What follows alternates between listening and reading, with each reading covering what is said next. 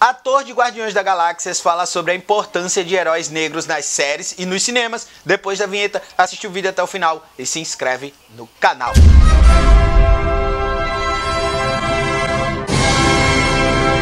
E aí, pessoas não pessoas, coisas não coisas, geeks e não geeks, nerds e não nerds. Vê só, o ator que tem o nome Pasmem é o nome dele de verdade. Digimon.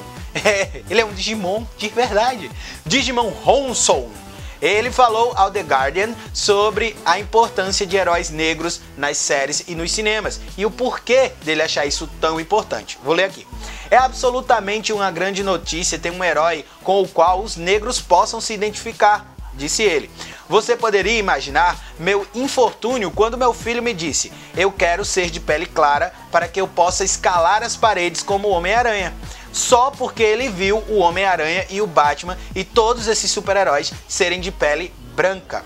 No minuto em que ele disse isso, eu estava tipo, droga, por que isso acontece?